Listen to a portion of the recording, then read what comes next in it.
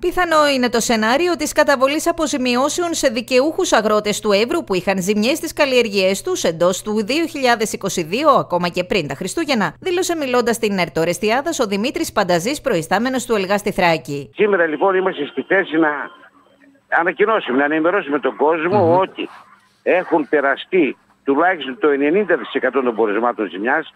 Μέσα στις επόμενες ημέρες κλείνουμε οριστικά τα γραψίματα και τον έλεγχο ούτως ώστε σε επόμενο χρόνο, θα σας πω με λεπτομέρεια, να πληρωθούν άπαντες. Σήμερα λοιπόν που μιλάμε έχουν καταχωρηθεί το 50% των αναγγελιών ζημιάς του Εύρου αλλά και της Τράκης γενικότερα, ούτως ώστε στις αμέσως επόμενες πληρωμές που θα γίνουν.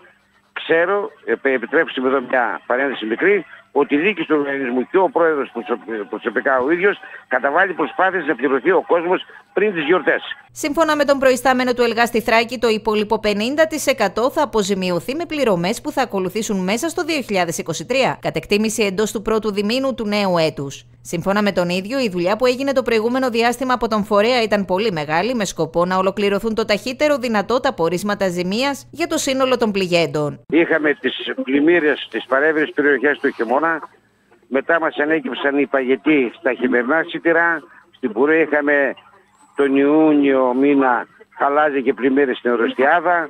Μετά είχαμε χαλάζε εκ νέου στη Δόξα, Δοξιπάρα, ε, Ζώνη και Πυρήνο κλπ και ευτυχώς μέχρι ε, σήμερα από τότε και δόθε δεν είχαμε νεότερες ζημιές και αυτό είναι το ευχάριστο.